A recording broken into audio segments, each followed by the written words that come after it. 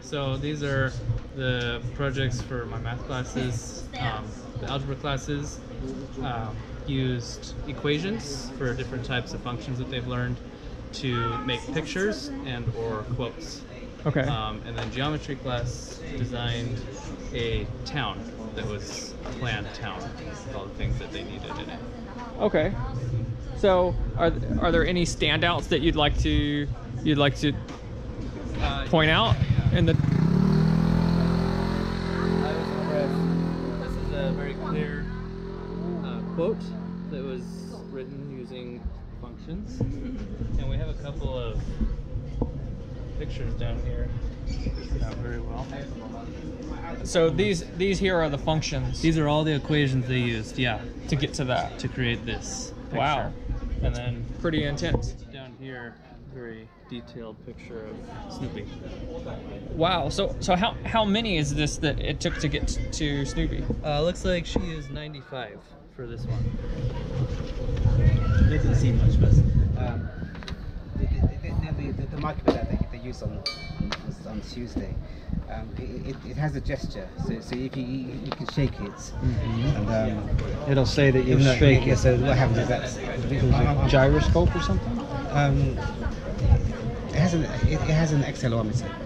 Yeah, So Yeah. so what, so it um, can read it and then it, it will say what's happening. hmm So it, it's, um, it's, it sends that data into another program inside the computer, and then the a web page will actually get the um, get the data from the other program and then display it dynamically on, on the screen. So you can turn it up and down and shake it. And there's also free fall as well. Yeah, I heard- saw that. It Yeah, says so- free fall. Yeah. Um, Logo down, screen down, Yeah. shake. 6G, 3G. Yeah, yeah. So it'll measure the G levels yes. of, like if you had it in a air, airplane or something, it would yeah, yeah, yeah. you'd you'd be able to tell what the pilot's experiencing. change it back to pink at base 好，就这样。 Okay. 那大的等下先放着，先放着。效果一样，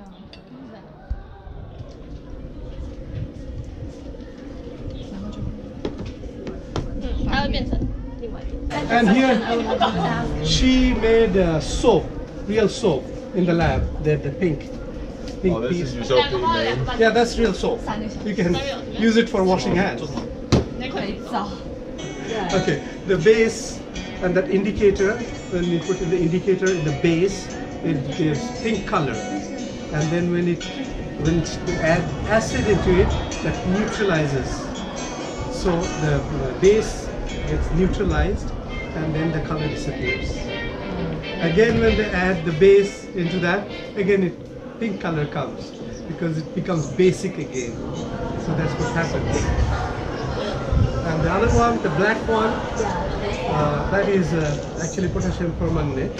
So if they add this uh, ferrous sulfate, it is uh, oxidation takes place.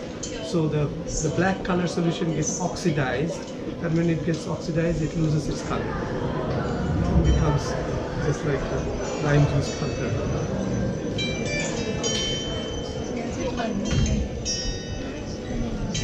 Okay, now you should be able to explain. my fish died because uh, uh, uh, after. Okay. So how do you keep them alive? Do you make sure you don't feed them too much? Can you overfeed them? Don't feed, feed them too much they have to have oxygen in their water. That's And how, how often do you change the water? uh, very yeah, as soon as it gets dirty. Okay. And and how do they get air in the water? Plants and water running down like that. Okay, so the, the plants uh, add to their uh, to their environment and help them survive better. So why does this one have no plants in it, and then a lot of these others have like lots of plants? Why is that? Because the their plants died. Because their plants died. Yes. So why did their plants die? Do, do they know? Uh, not keeping it, not keeping it, um, not keeping it clean. Okay. Okay. So the plant relies on lots of water to survive. These ones look really good. These seem to be in good shape. I sacrificed some things to put it in. Oh yeah. Which one is yours? This one. Yeah.